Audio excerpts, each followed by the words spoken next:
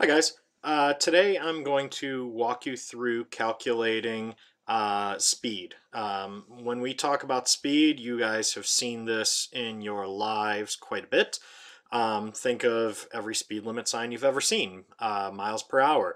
Um, if you are a fan of track and field, you measure it in meters per second. Um, so we're going to talk about what, what our three variables here are because we are going to be doing some math and science class. But I promise you, this is math that you learned in fourth grade. So we're going to talk about a couple different variables. The first variable we're going to talk about is distance. And uh, we are going to use a capital D for distance.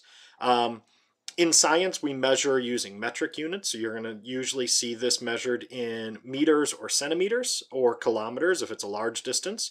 Um, over the course of this e-learning, because of the materials we have at hand, we may be using more inches and feet than we like to, even though we don't usually use those in science.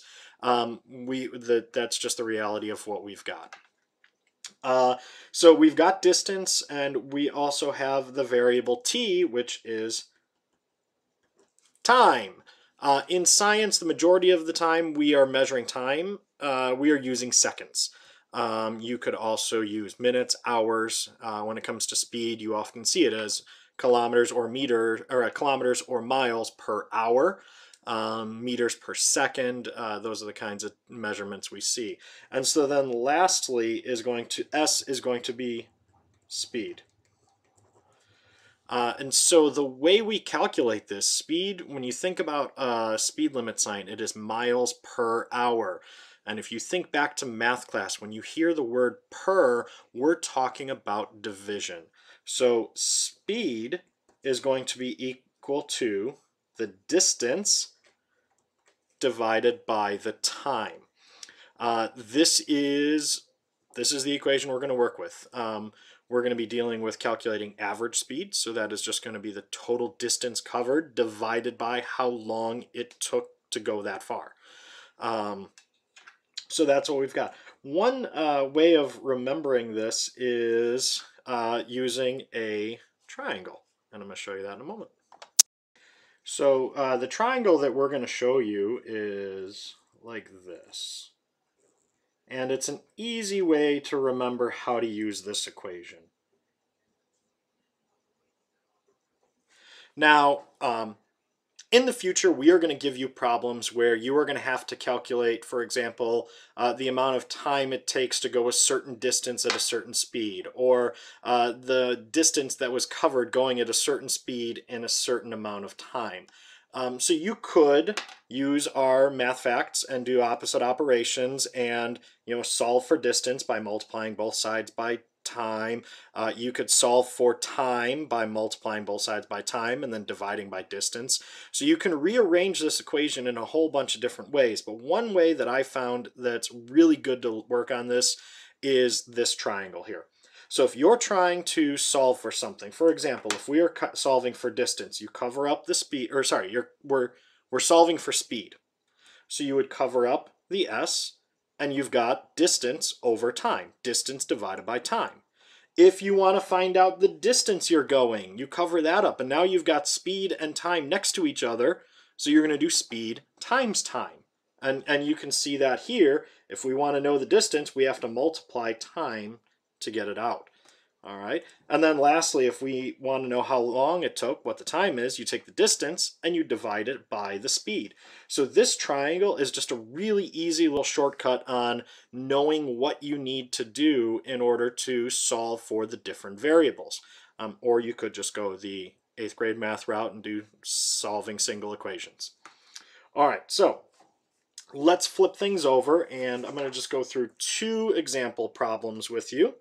Uh, the first one is uh, if it takes Reagan 25 seconds to skate from the blue line to the blue line and the distance is 50 feet, what is her average speed? So if you're not a hockey fan, uh, the blue lines are painted on the ice. Reagan is Miss Raleigh's daughter who plays uh, hockey with um, the uh, up in Rockford. All right, so um, looking at our equation, we've got a couple things. We've got a time here and we have a distance. Our time is measured in seconds, our distance is measured in feet, and what we want to know, we want to know average speed.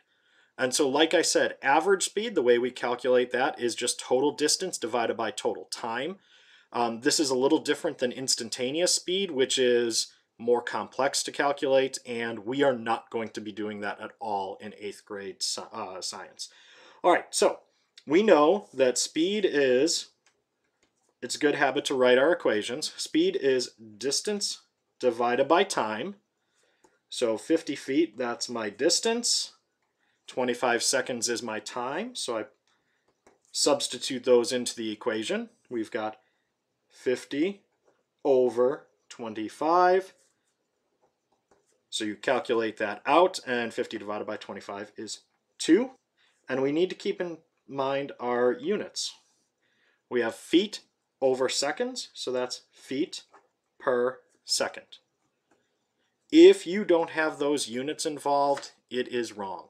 Um, in science, we need to be precise and we need to know what units we're dealing with. We've talked about this in class before about uh, the Mars probe that was lost because it crashed into the planet because the programming used metric and the hardware used imperial, so inches and feet. So we don't want those kind of problems to happen, so we always want to label our units, okay?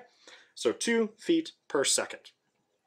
And it also makes sense because if we're if we don't have units, I mean, two could be anything. Two feet per minute, that's a snail's pace.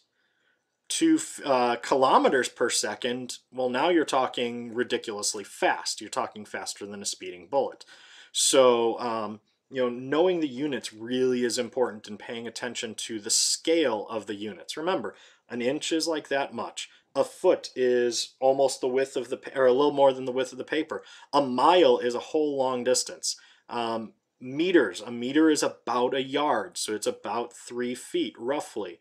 Um, a, a, centimeter is, you know, a small little measurement, okay? So think about those scales um, when, when we're doing these problems.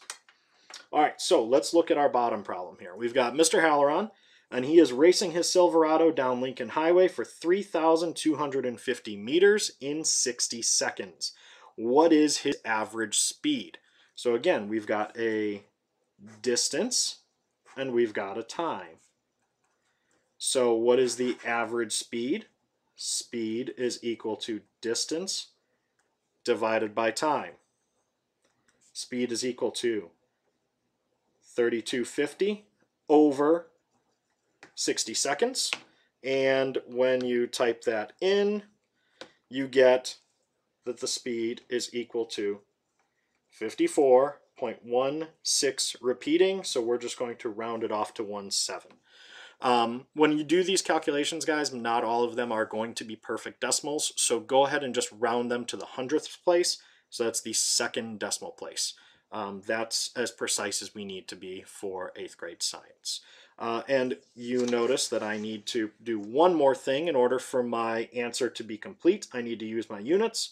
So we have meters and we have seconds. So you have meters per second. Okay, um, and that's how you use the speed equation to calculate speed. It is distance divided by time. Meters per second, miles per hour, feet per second uh, that kind of an idea. All right, so you're going to be using this equation, speed is equal to distance divided by time. All of the practice problems today are going to be this exact equation, speed equals distance over time. You're calculating the average speed for everything.